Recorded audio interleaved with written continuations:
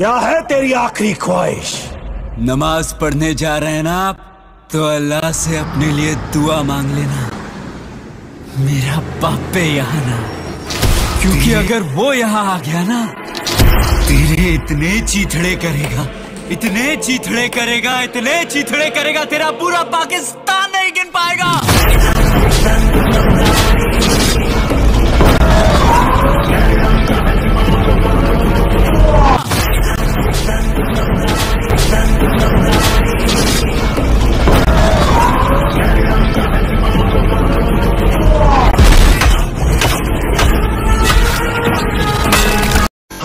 आज़ादी दिलाएँगे। कैसे आज़ादी दिलाओगे तुम?